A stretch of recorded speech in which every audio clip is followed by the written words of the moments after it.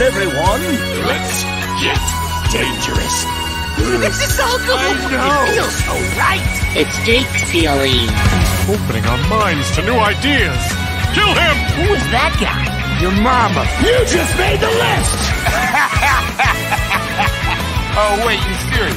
Let me laugh even harder. It's all in fantasy. Days of the ranks. Sure, we talk about it all the time. Really? No, burn.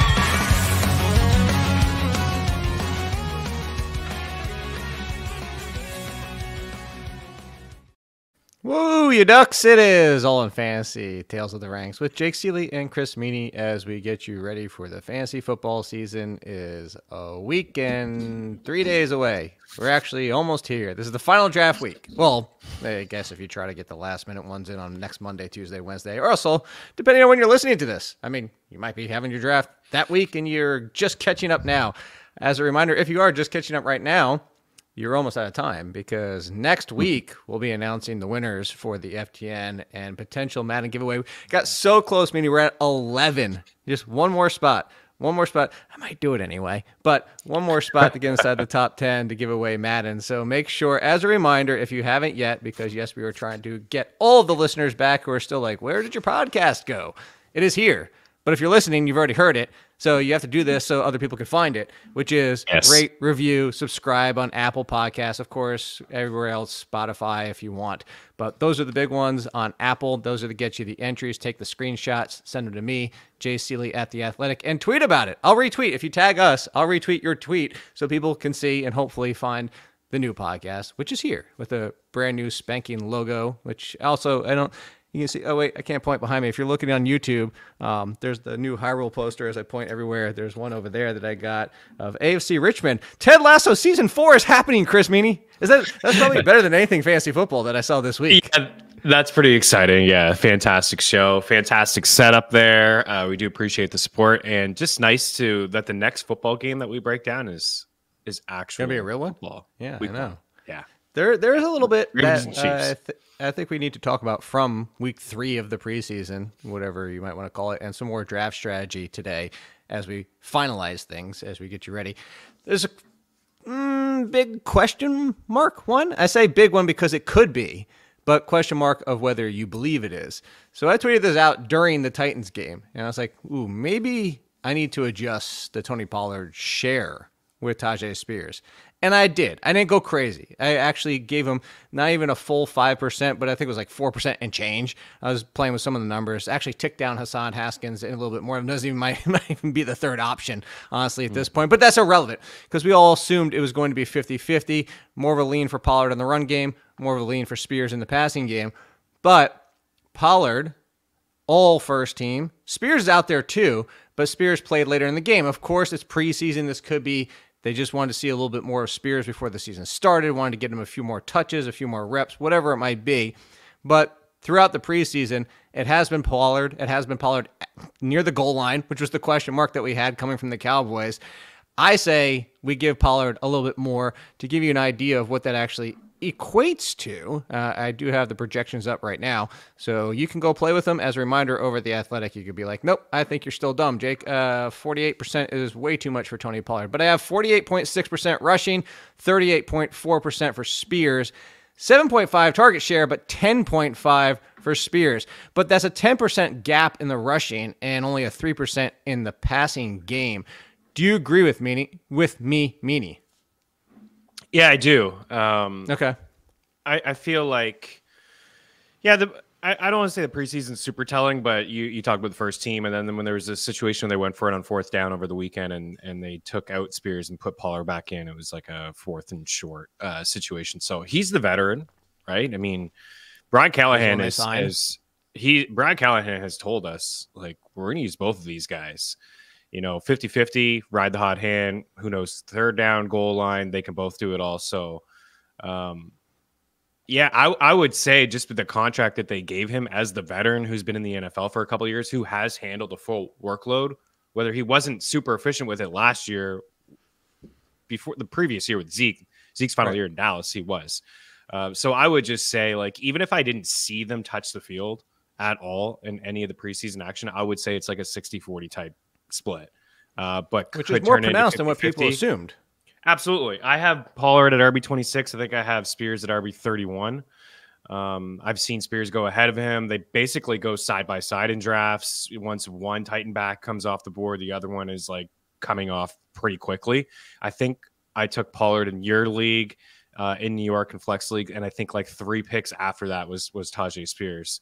Um, and I was debating between the two, and I just thought I would lean with the veteran and, and the guy that they paid and who I expect to get a little bit more this year. So I, I do agree with what you did over there with in terms of projections. But you and I will be talking throughout the season. We're going to be talking about, hey man, Spears looked better. Is it now Spears? And we'll say maybe, uh, but Pollard isn't going. mark? You know what I mean? Like it is going to be frustrating, but I actually think both of these guys could be like decent flex plays. I think Pollard has a, a better chance of being a low in RB two for you.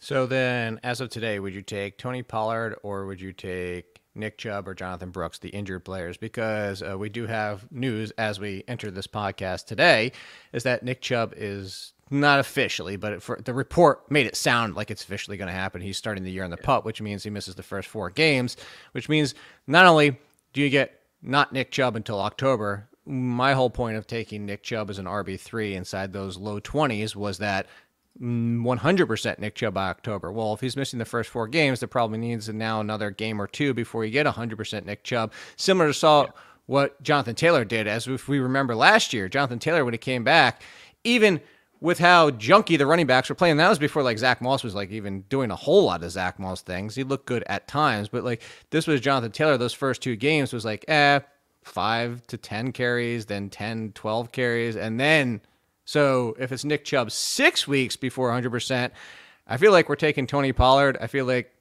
even Yeah. maybe question mark Tyjae Spears, but would you take Tony Pollard over Jonathan Brooks? Because that's the bigger one. Like Jonathan Brooks has the big injury concern. They already said he's going to start off injured. But is it the same as Nick Chubb? Like that one's kind of still hanging out there. Like if you're drafting today, obviously we might get some news by we do the second podcast this week. But as of today, are you taking Tony Pollard or Nick Chubb or Jonathan Brooks? I, I'm taking Pollard over both. Okay. Yeah. Um, you know, I, I probably won't have. I don't have a lot of shares of Brooks, and I probably won't with my home leagues coming up and a couple more drafts uh, that are going to do like squeezing until like two days before the season starts. I, I don't feel like I'll have a lot of Brooks. I think he's. I think he's the best back in the class. I think he's he's the guy that has the. I think his like bell cow ability for sure. Like if I'm ranking all the guys, I would say like like, Brooks. Bell cow ability. I like that word. It's right. 'Cause the other guys, I just don't feel like do. I mean, Benson, sure, but I don't think Conner's going anywhere. I don't think you. I think you agree that Conner is is the guy there at least for one more year, final year of his deal. Uh, I mean, I but have James Conner inside my top 20. If I knew James Conner was playing 16 games, I'd have him as an RB1. I have him at like 16 or 17. Yeah, I have him aggressively ranked too, ahead of most guys. Uh, I think we're we've just been in on Conner over the past couple of years, and we expect him to miss. James games. or Aaron he's Aaron always done. I I have Conner ahead of Aaron Jones. Yeah, Really? Yeah, I'm just- pretty low on Jones. I have him like RB 20. Really? on him. I know we're we're like pretty much on the same page of a lot of with a lot of players, but you and We're on I, I saw your ranks. You have like high high in RB two. That's 16. low in. Yeah. I have a sandwich Um, between James Cook and Rachaad White.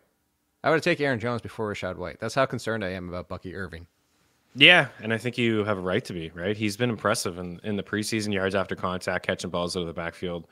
Um, new regime. That's the thing. Like it, it's easy. People just say like, "Oh, well, he's going to get that work that Rachaad White had." You know, Dave Canales is going to give up to him. I, I just don't think so. I think like next year, and there's Yeah. a time where Oh, maybe I don't. Yeah, I don't think in the Bucky second leading the backfield. Yeah. yeah, like there's there's no reason to to rush this guy. They're going to be worst team in uh, on in football, probably one of the worst offenses.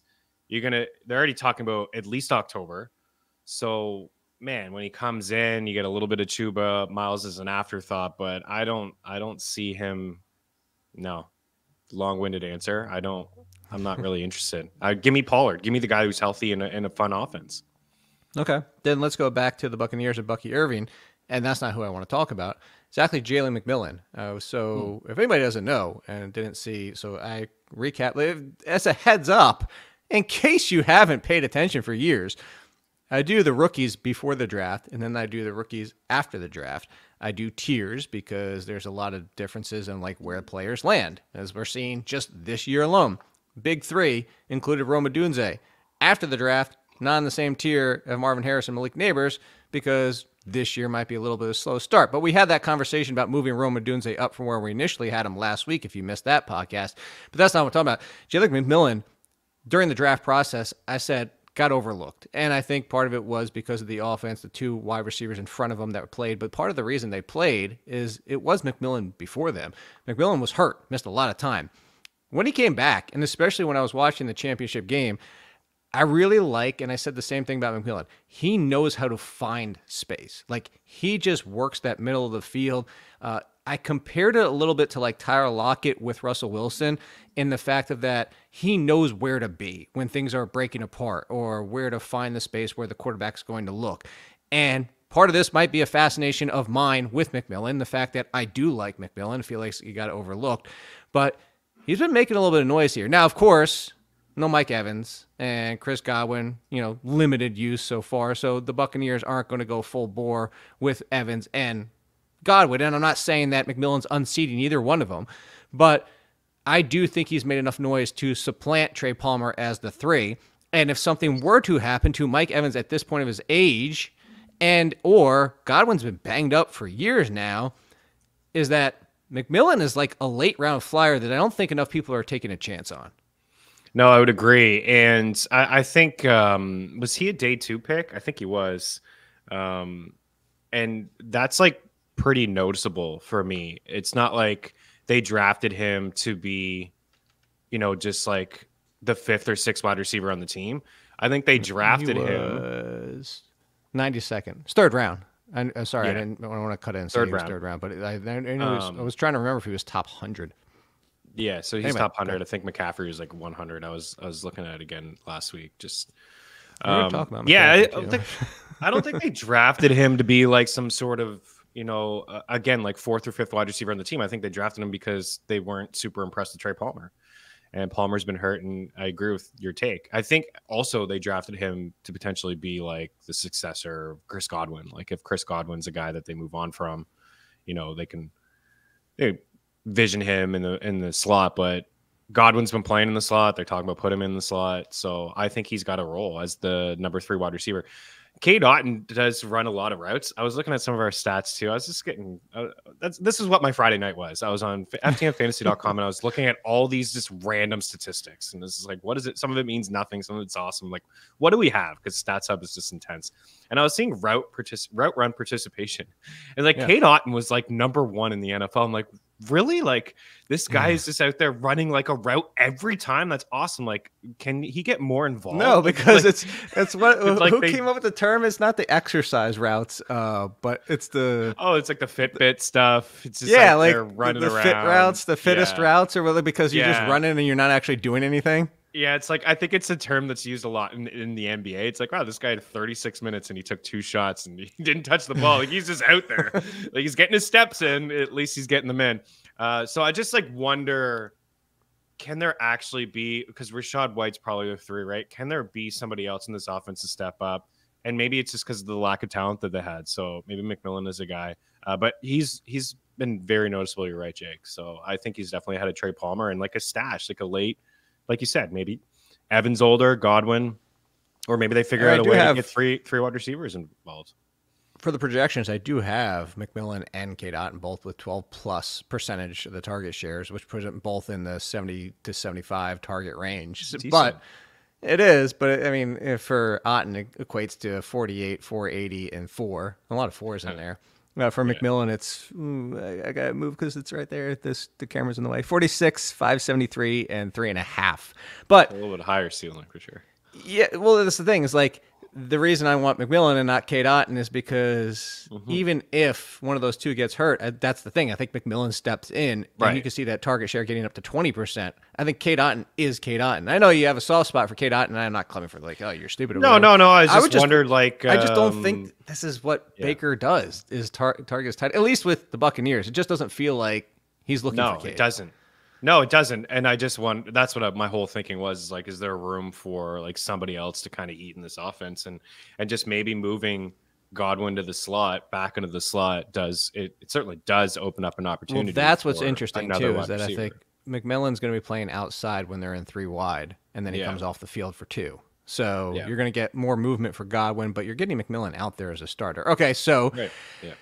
another rookie way high up our draft boards at least and somebody i'm excited to get in the ninth round i might even take a flyer in the eighth but sometimes he goes in the 10 was brian thomas as everybody knows at this point for the jaguars love his skill set i don't know how many times i've said it on the show and in general there's a concerning factor, though. I will say that. So, if you talk about the route run participation with the first team, with the Trevor Lawrence, it's been very high for Brian Thomas. I think it was like 92% or something like that. But somebody was 100, and it was Gabe Davis. Does that mm-hmm. concern you at all for our Brian Thomas love? For me, it doesn't. I, I, I actually feel like that 100% might not equate to 100% once the season starts. Maybe I'm wrong. And maybe at some point it changes. If I, if I am wrong, I don't think it lasts the entire season. Like I, I Right. Put it this way: if I draft Brian Thomas as my wide receiver four, round eight, nine, ten, and he starts off first two weeks three for forty-seven, you know, two for forty, and it's ninety percent round participation. Gabe Davis is out there all the time, unless Gabe Davis is going out there and putting up six for hundred and one two weeks in a row. I'm actually going to try and buy. Like I'm not concerned if I have Brian Thomas, and if I didn't get him, I would actually try to buy low. That's how unworried I am by this route participation. Yeah, yeah. Davis will be the biggest buy or sell high candidate in the first couple weeks, and and Thomas will be the biggest buy low candidate, especially if it starts off that way. And I think that Trevor Lawrence is going to bounce back this year. I'm I'm really looking forward to uh, seeing what his season looks like, and I have a lot of shares of him. Like I just I think Brian Thomas and Gabe Davis will actually help his game out. So I could I could see Gabe being the guy. You know, uh, you know he's 100 percent on the field a lot. End zone targets. We've that's what we've seen so far in very small sample size in preseason, but we've seen a couple shots. We know that Calvin Ridley led the NFL in end zone targets last year, so there's certainly a void to be filled. Uh, but I'm I'm just team Brian Thomas with you. I have him aggressively ranked in the mid to low 40s. Uh, so I, I actually don't have an issue if you want to get him to to get him in the eighth and instead of waiting, oh maybe he's there in the ninth and the tenth, which has been the case. But Mhm. why not just get him? And you know the way that you construct your team, I think as a wide receiver four is perfect. You don't have to put him in right away. I think there will be a little boomer bust in his game, but we already know that there that's involved in Gabe Davis's game, and he struggles with drops. So it just may be uh, taking time. Kirk is hurt to start. Ingram had a couple touchdowns over the weekend, or at least one. People will freak out about that, but like the Oh, deep yeah. threat guy in the offense is Thomas and Gabe, and I just think we both agree. Like when they signed Gabe, we are like, ah, okay, maybe three or four, and then they drafted Brian Thomas, and we're like, oh, like Throw that out the R.I.P. window. Davis, and they just got a better version of Gabe Davis and Brian Thomas. But af- after all, he is a rookie. Uh, but Thomas is going to take a couple, or T. Law's going to take a couple shots at him deep down the field. I'm really excited about him. He's probably the, the rookie that I have the most shares of. Brian Thomas or Yeah. Chris Godwin? I would take Thomas. I think Godwin's too. safer, but like, mm, All right, well then. do you want one. like seven to nine fantasy points a game, or do you want like some double digit week weekly winning performances? I think that's what Thomas is going to give you. Well, then let me let me go one more. Uh, do you want a potential 28% target share? And I'm saying that guesstimating on what we've seen so far in Diontae Johnson, or do you want Brian Thomas? Because as you think about that, Diontae Johnson has been peppered. Uh, Yeah, as every report has been, Brian or Bryce Young and Diontae Johnson have breakfast, lunch, and dinner together. They're watching movies, hanging out, feeding each other popcorn. They love each other. They they're spending all the time together. Every time Bryce Young gets on the field, he just looks where Diontae is. Like, where's my buddy? Yeah. And tongue in cheek aside, uh, there's been talk of Adam Thielen has a little bit left. Jonathan Mingo's been running at the three because Legette's been hurt, which has hurt Legette for our excitement, anybody else's excitement. You know, I would still take Legette over Mingo for the upside if I'm drafting one at all, but Legette's basically fallen to undrafted at this point in fantasy because of that. Uh, Thielen's been a thing. Tommy Tremble's been a thing.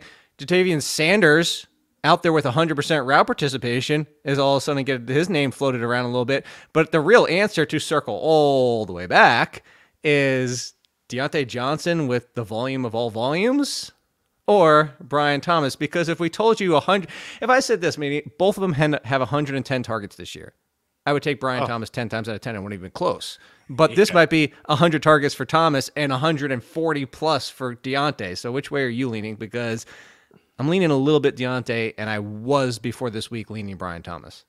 Yeah, I have Diontae at 36. I have Thomas at 40. Uh, so again, I have Thomas ranked pretty aggressively, but Diontae's in that range of like Kirk and Hopkins and Courtland Sutton.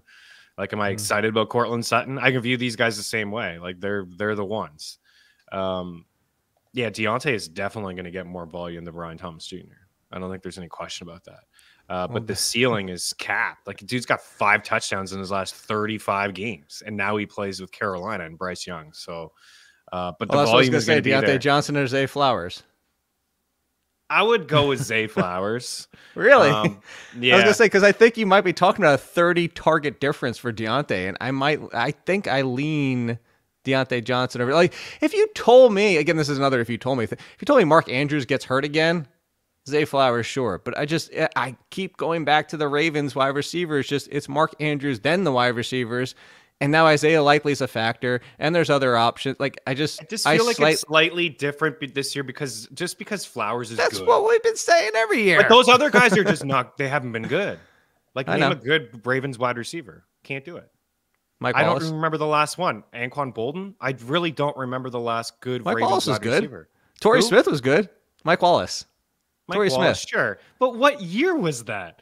Those were like the. I don't know. What's his face from the Steelers caught a touchdown last night? What, what the hell on a different team? What the hell is his name? Oh, the yeah, other, uh, the other Mike Wallace, Martavis Bryant caught a Martavis touchdown. Bryant. Martavis Bryant got a bunch of buzz this morning from Dan Quinn says he sees him as like definitely on the roster. Like maybe he's Oh. the guy.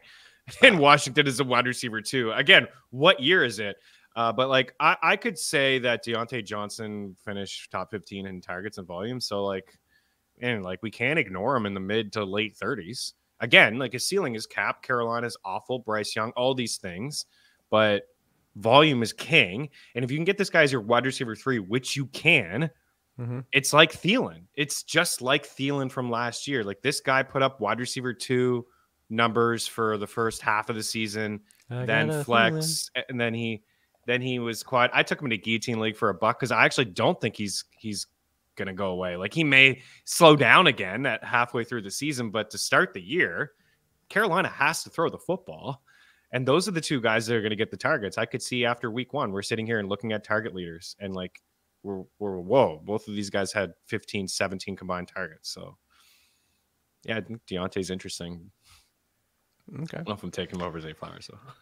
Here's another interesting one. What are you doing about the 49ers backfield? Because it has been oh, Elijah Mitchell in the past, and we've seen Elijah Mitchell, and Elijah Mitchell fits the Shanahan offense. Part of the fit and appeal here is why I liked Isaac Guerendo out of the draft, who got hurt. But by the way, returned this week. So just thinking long term, super deep league, or remember the name. And just don't Yeah. forget about Guerendo.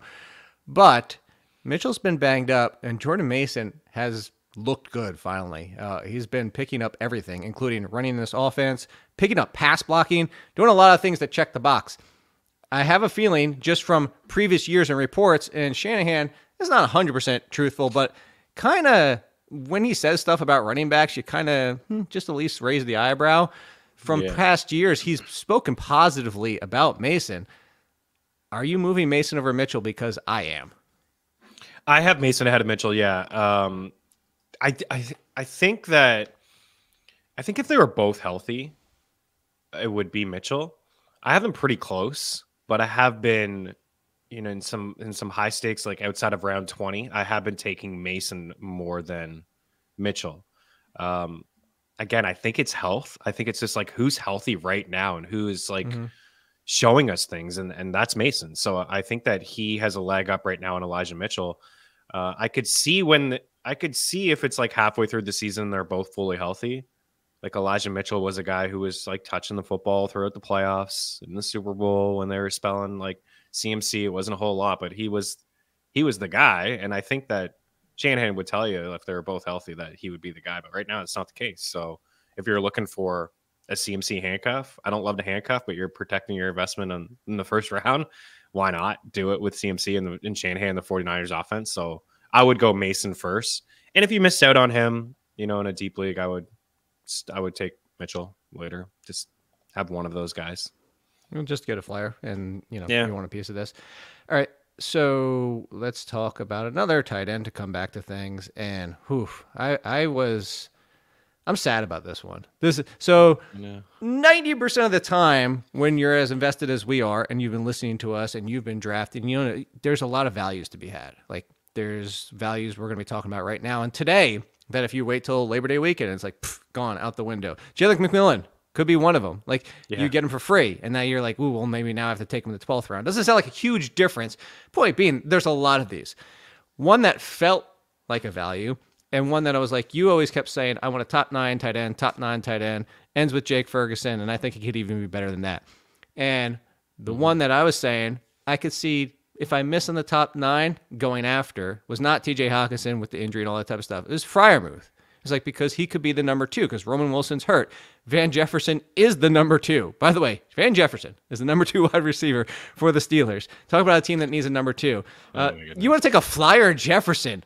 I'm okay with that. I mean, I did Chris Harris's podcast, and it was undrafted players that you might have value with. And his one of his was Van Jefferson. He's like, and I hate the player. so like, sorry, Van. Je- but Opportunity. Arthur Smith is ruining Freiermuth, just like he ruined Kyle Pitts. Uh, he is not running 100% of the routes. We have Darnell Washington in the mix. He's Yeah. not getting a lot of targets. Freiermuth went from being a fringe tight end one to me to I just don't even want him anymore. Uh, Yeah. Are you with me on this? I I gave uh, our guy Fox uh, my tight end rankings over the weekend, and I had to make some adjustments. And Freiermuth was one. I moved him to thirteen, which is like doesn't seem like, but I had him in around him the enough. ten or eleven range. Yeah, I know. I have him. You in, know where he uh, is for me? You got him 18. 17, 18? Wow. Behind Schultz, Hill, Taysom Hill, Luke Musgrave. I even am considering moving Okonkwo in front of him at this point. Yeah, I'm actually really worried about Okonkwo um, because I feel like some reports out of Tennessee is that he's like could be the tight end two or three on that team. I know that there's another tight end. considering. Yeah, there was a tight end that was, was out with a concussion, and and even Okonkwo didn't get any run. But I really like him overall as a player. I just like, yeah, I have him. I have Okonkwo at like 28, and Noah Fant. What's the upset? I had to go back and look at Noah Fant's numbers last year seeing Noah Fant inside the top 20, I'm just like, where does this guy? He averaged like four fantasy points per game last year, and he basically played a I full don't- I season. I, just don't know where he fits in to everything that they have going on there. But like, uh, I I will say that Arthur Smith is super frustrating. May, maybe he's just I don't know, man. I try to give this guy the benefit of the doubt. Like maybe he just wants to see I don't. Washington. I know. Maybe he just wants to see Washington because when they drafted him, he was hurt, right? And he wasn't really getting any run. Good tight end class. Just like wondered how like I was confused with with the pick. I'm not in on Pat Freiermuth, but I could see a scenario where he is like like you just said Van Jefferson, right? So like as the number two, can he catch four or five passes a game? It's not exciting. No, because you know what the answer is. The number two in this offense is. You know who the number two is on this team, right? Uh, Oh, using it's the Warren word- or Najee. And, oh no, no, that's what I was gonna say. It's not actually who; it's what is the number two. The entire damn backfield. And I'm Yeah. bringing this up to say once again, everybody's like, "Oh, well, Jaylen Warren's hurt. Najee Harris, move him up." No, because Cordarrelle Patterson stepped in and just did what Jaylen Warren was doing. I told how many times did I say this Yeah. this all season, meaning I said Cordarrelle Patterson is the thorn in the side that nobody's paying attention to, and everybody's like, Right. no, he was just for kick return and a little bit of the passing game. like, no, it's going to be. He brought him over. Arthur Smith is the worst human coach in the NFL for fantasy. For fantasy, he's probably a great dude. Like, like I don't know. debatable. Like, like, oh, debate. What? He ruins fantasy. He ruins fantasy does. for everybody. And and they didn't just sign him. Yeah, you're right. They didn't just sign him. It's like a decent contract. I think it was like nine million bucks. It's more than just like a punt Two return, years. dude. Yeah. So uh, yeah, you guys, you guys have heard me say this before. I know you've heard. He had more attempts at the goal line last year than Bijan Robinson, who they took in the first round and early in the first round of draft. So I do agree with you on Cordarrelle, and yeah, Pat Pat Freiermuth is a guy that I have bumped. It's like all these guys, right? What what do you Meaney, like? Pat when-. Where's the ceiling with Pat Freiermuth? If if you invest a top ten pick in a running back, you have to keep him healthy, meaney. Come on. Let's, Yeah, let's be smart here. yeah, for the long run, knowing that. you won't even be the coach on the team next year. You could have just ran him into the ground. But like, yeah, Schultz and Kmet, I like his players, but they're buried. Taysom Hill, we talked about, you know, always just finishing tight end 12, 13, fancy points. Luke Musgrave, buried. Lots of guys going on. Just talk about Otton. Great. He's out there running routes, not getting the ball.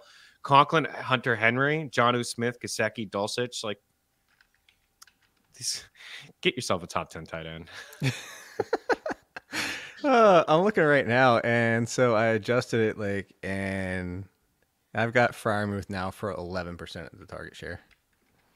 Eleven percent. co- Where, where do you yeah, have like comes- what's the Washington like? How should we be more in on? Sonata? I'm not because oh, Sinnott.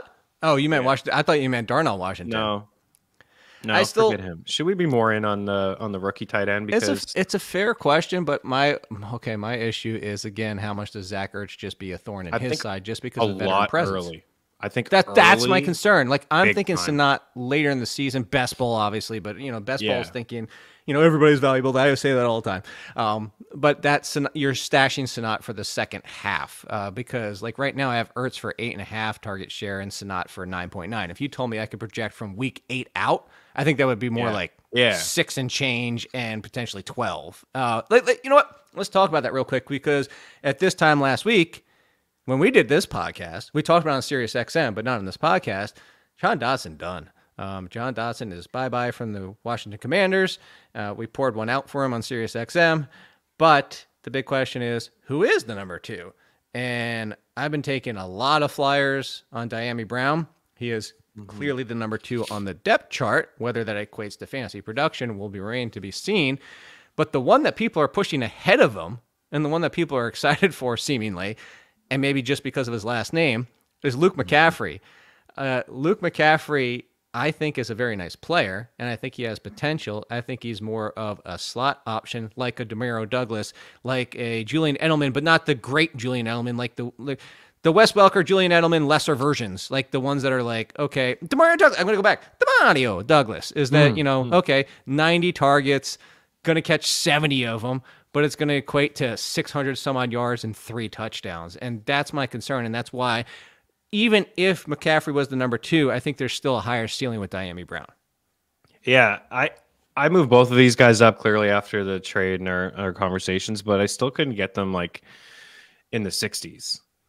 Like I still couldn't get them ahead of Ja'Lynn Polk, Darnell Mooney, Wicks, Patrick. Oh, really? I could take Eight- Dyami oh. over, not over Patrick, but I take him over uh, Over Ja'Lynn Polk at this point. Ja'Lynn Polk, yeah.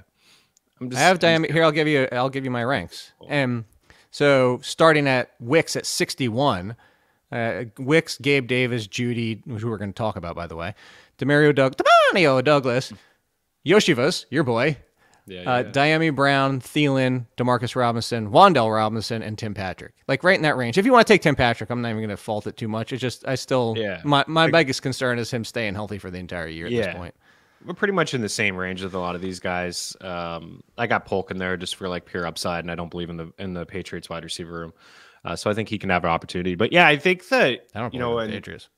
yeah, um, you know, if you have sleeper, you got notifications on, you get a report from I forget who it was, some guy from ESPN who covers Washington, and he was just giving his two cents, and it's like you know, McCaffrey's behind. I don't know. He's like considered wide receiver five or six. Or he's got some room to make up, or he's nowhere close to the slot role, or something like that. Uh, which really doesn't surprise me. It shouldn't surprise you. Shouldn't surprise anyone. Like it just it isn't automatically going to happen because of the trade. This guy was a quarterback a couple years ago, was he not? Like he's Yep. converted to wide receiver. It's going to take time. I could see in the second half. It's just like sticking with these veterans. Zach Ertz, pain in the ass. Crowder, going to be one as well. He really will be. Zach Like, Ertz going to listen to this podcast and be like, "Why am I paying?" and Ertz, you know I love you, buddy. Uh, big catch in the Super Bowl. Um, no, but seriously, Crowder is a veteran too. Like, don't you think that at full health week one, the veterans are on the field, and then like Thielen, they slow down. Crowder's Ertz, annoying. Crowder, these guys slow down. Then maybe a little bit of McCaffrey, but I think the biggest winner is Ekeler. I, I the upside is with Dyami Brown, right? Good call by you. I think the deep ball is great. Who's the deep ball guy? It's probably him. Don't forget Olamide and Terry all over the Zaccheaus. I mean, he's still they, they, he has sat because they like said he is the slot option to start. And has actually been playing outside a little bit, which seems like uh, that's not going to work. But I mean, it happened with Wan'Dale Robinson with the Giants. So Yeah, if this offense is a lot, if if the preseason is telling it all with this offense, it's gonna be a little bit different than I thought. Like a lot of screens, and it's also going to be Terry McLaurin and nobody else. Yeah, and getting it out quick. It's been Diontae Johnson with a great quarterback. Yeah, with a great quarterback, and of course we saw a design run from him, which resulted in a touchdown. I think in his second preseason game, Jayden Daniels. So I think it's gonna be a lot of short. I think it's a whole lot of Terry, which we've seen for since he's entered the NFL. Yeah, you want to get excited about Terry, by the way? Uh, real quick. Uh, Terry McLaurin, 139 Touchdowns you got targets. I need to know touchdowns. It's always the No, same. no, no. amount of I- I'm gonna I'm gonna go through the whole thing. Uh, 139 targets for Terry McLaurin, 86 receptions, 1164 yards, and seven touchdowns. That's Checks wide him in receiver too. wide receiver 17. Oh baby, and he's still going in the early 30s, like high 20s. Yep. This is t- this has been one of the toughest years I think when your projections say something and then your rankings. Like I just feel like there is a tier. I could name 15 wide receivers, and Terry's in that tier of guys like because there's a lot of You know what the funny thing was? a lot of teams out there that have three. T- tier four and five were initially the same tier for me. No, they were Yeah. initially so tier four was initially all the way, so it went from 20 to 38. And then I was like, you This know what? what There- there- there is a little bit of a cutoff for me. Uh, like, and this is why I changed it. So, like, now it starts with Jaylen Waddle at 20 and goes down to Michael Pittman at 30 because I'm like, I'm down on Michael Pittman, obviously, at 30. I have zero Michael Pittmans. And that's even with Josh Downs being hurt, which, funny enough, I was going to transition to that team next. But that being said, that Smith, that Smith, that Smith tier, that tier has DeVonta Smith, Terry McLaurin, Amari Cooper, Christian Kirk. Like, those are the names in there. The next tier is still Calvin Ridley, Keenan Allen, Zay Flowers, and like I I could argue they should be in Yeah. there, and it goes all the I way know. down to Tank Dell at 38. But I do think there's a li- like a fringe of a cutoff there where it's like, okay, these are guys that are clearly twos or could be twos and fall down to threes or threes that become twos. Yeah. And that's why I have them there. Like Diontae Johnson's there. But like I feel like you could put Diontae Johnson with Christian Kirk, but then I'm like, well, it's Trevor Lawrence versus Bryce Young. There's a little bit of a gap. But Yeah. your point stands and that if you want to really nitpick, I mean, I don't if I told you wide receiver 22 to wide receiver 38 was less than 2 points per game difference, maybe even 1 point ha- one one and a half. Actually, Yeah. let's look last year. Let's look and see the the difference in fantasy points per game as Oh, come on, fantasy football today. What is your freaking overlay ad that I can't even close? Thank you very much. I like FF today, by the way. All right, so if you go to where did I say wide receiver 22? Wide receiver 21 was 11.8. To get to 9.8, you have to drop down to wide receiver 39. That's how big that gap is. That's almost that's 18 players. So yeah, I mean, it's and I just think this year too with I don't know, you're just adding there's a few teams that have like three wide receivers, right? You're adding Ridley to the to the Titans room and then, you know, you're adding um Diggs to the Texans room. So there's a there's a lot of like maybe low end one Bs like like DeVonta and Waddle and Higgins. Well, I was going to say the difference between the. Devonta Smith and Garrett Wilson was 1.7 points per game last year. Oh, uh, it's wild, man. And like, yeah, Higgins, Diontae, even Lockett, all nine plus, Kirk ten plus, Pickens, Flowers. Mind you. Yeah, so I said so I, I think said it's two better. points. um, yeah, yeah. Well, no, no, no, no, I was gonna say- for us on uh, XM or on the next episode to like identify the guys we don't want in this lengthy tier. That's that could be a good point. I like that. I was going to say there's a two point gap from wide receiver again from wide receiver 21 to wide receiver 39. There's a two point per game gap. The two point per game gap from wide receiver six only gets you to wide receiver 17. That's the difference. Yeah. Yeah, I just I just let that sink in for a second while you're drafting this year. For everybody's like Right. again, especially Meaney style. But uh, what I was gonna go Meaney style. You like how I named that Meaney style? Yeah. I I am moving up, and I tweeted this as a joke this morning. I was like, "Why draft Xavier Worthy in the seventh round?" And I brought up McMillan's name, but the bigger one in there in that tweet, the name that you should really pay attention to, was AD Mitchell. Why do that Hmm. when you can get AD Mitchell six rounds later? AD Mitchell is going to be on a lot of my teams late. He was already mm. sprinkled in. I didn't love his landing spot because I like Josh Downs. I like Josh Downs' fit with Anthony Richardson. Now, Josh Downs is coming back. Let's be clear. But the thing I liked about AD Mitchell so far this preseason is while Downs is out, Mitchell hasn't spent the entire time in the slot, but he's played there. He's played there in three wide, but when it goes down to two wide receivers, he kicks back outside, which makes me think, uh oh, Josh Downs and yes. yay, AD Mitchell. Are you with me yeah. on this? Oh, yeah. Yeah. Um, I didn't love the landing spot either. And then I heard Shane Steichen talk about like AJ Brown.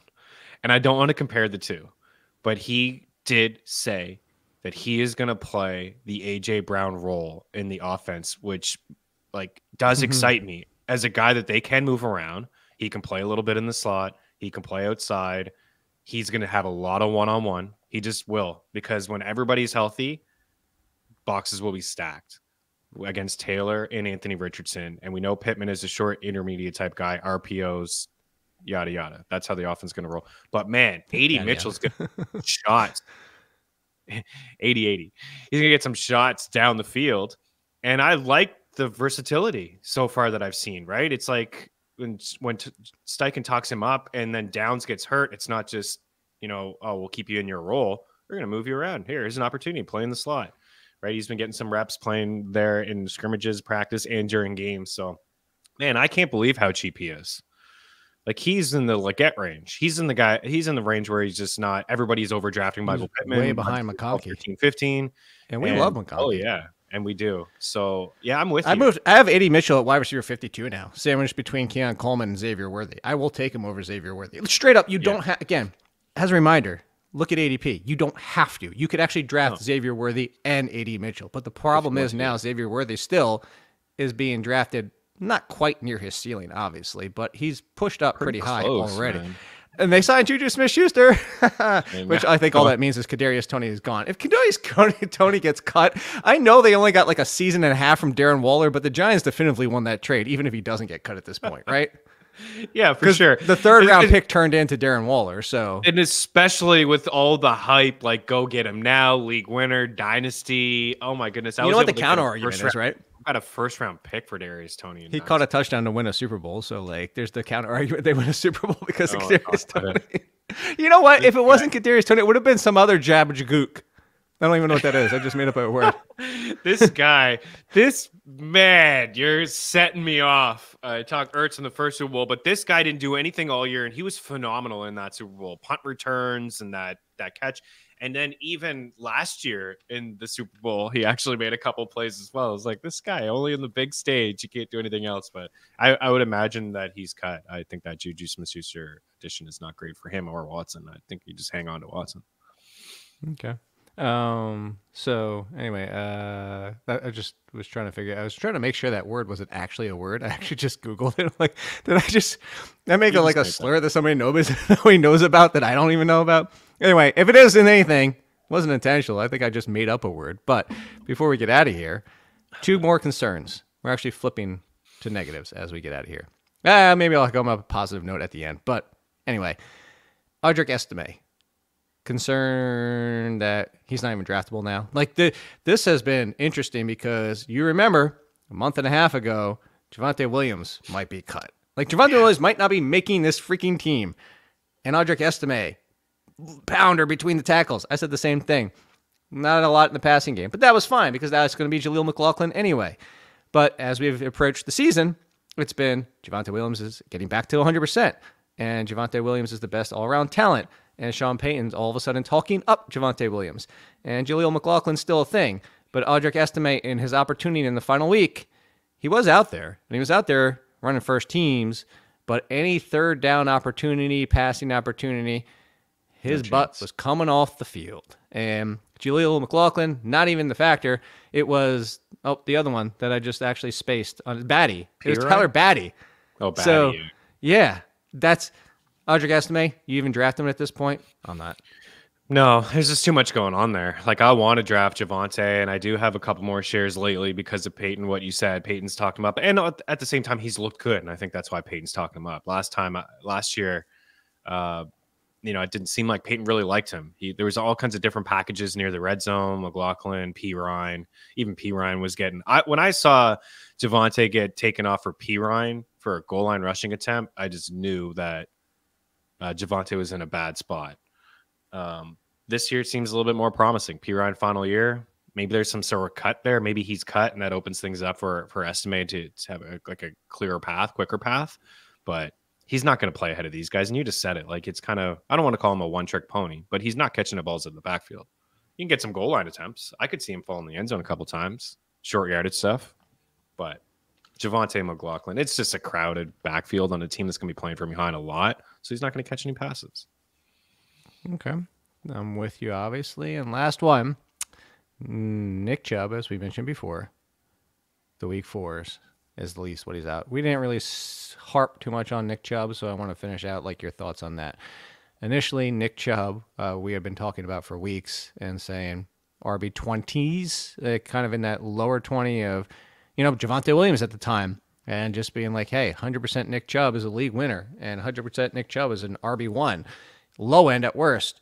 But now you have the four weeks, and how far do you move him down? I guess is the question. Meaning, like, do you take a Devin Singletary, knowing Devin Singletary is capped out as an RB two, or do you take a Nick Chubb? Like, basically, where did you have him and where did you move him to? Because I think you did the same thing I did. I moved him down a little bit. He was in the mid RB twenties. I would actually take him over the entire Steelers backfield, as I said at the time.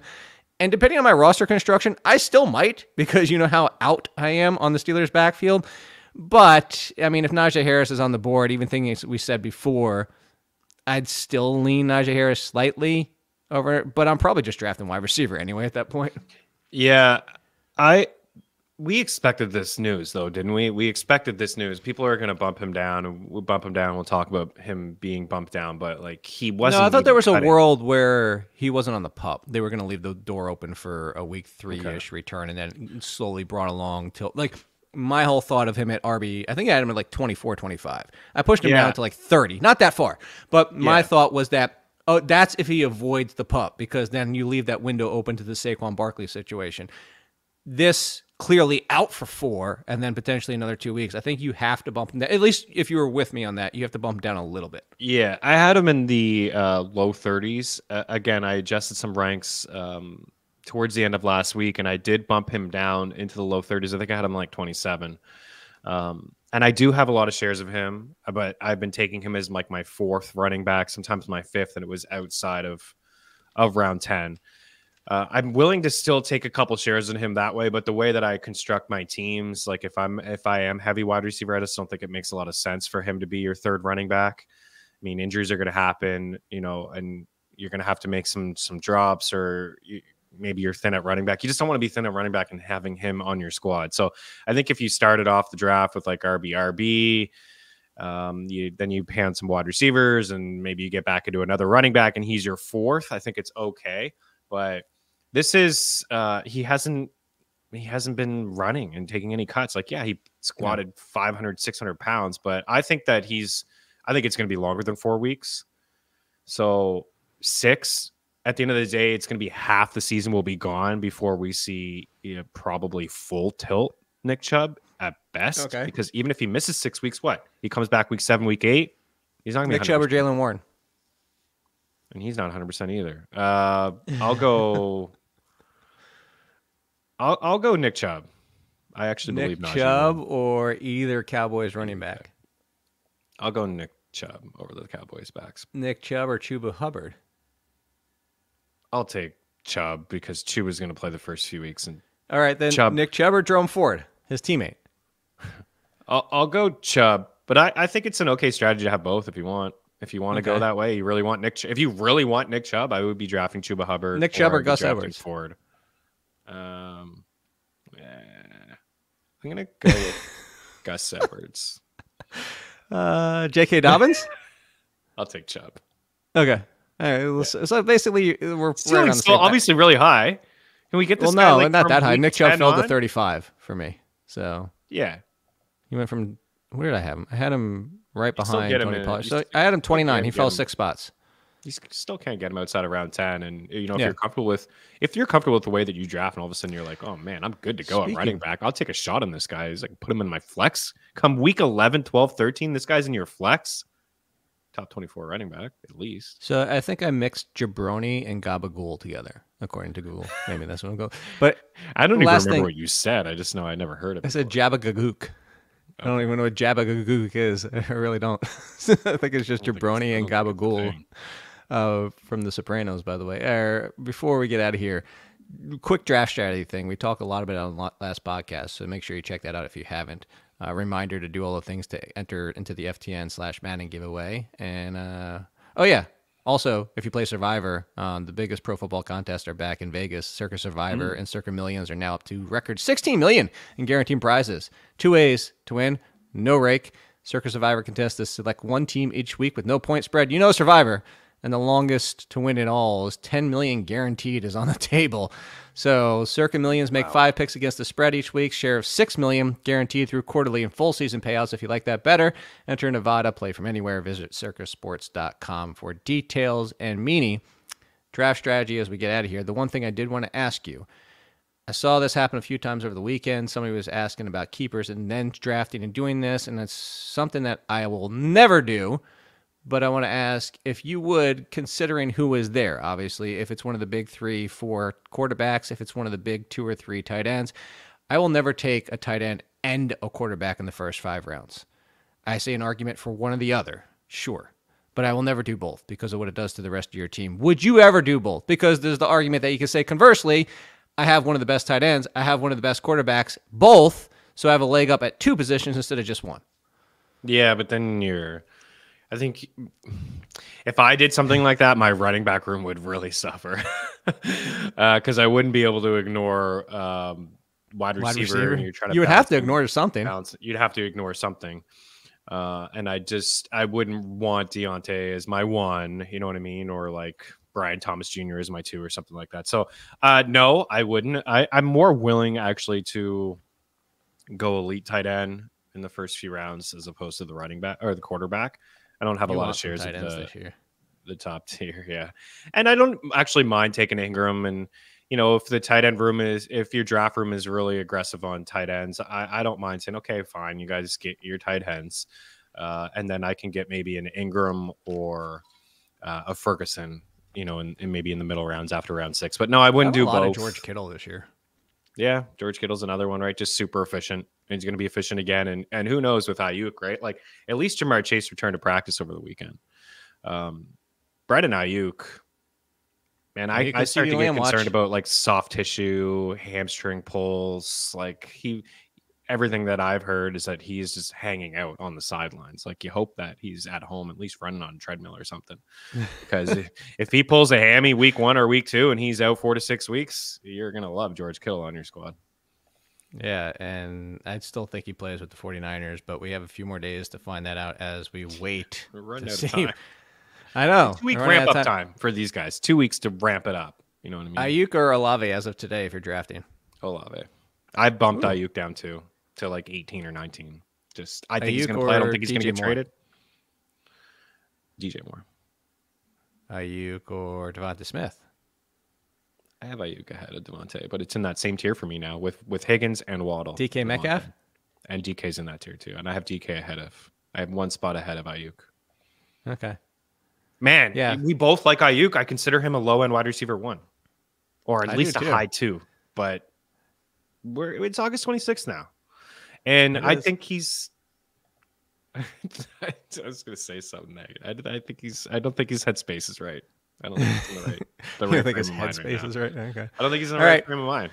He's gonna. Well, hopefully, people's headspace after listening to this are in the right frame of mind and they're ready to draft. And if not, we will be back on Sirius XM and another podcast later this week. and We'll have you ready at Chris Meaney at All In Kid. Make sure you enter the contest to potentially win some FTN memberships or do the giveaway live on the show. And we will see you then as Meaney now has to do the job of deciding when to cut off when I'm continuing to talk as I have a podcast coming out with Pat May.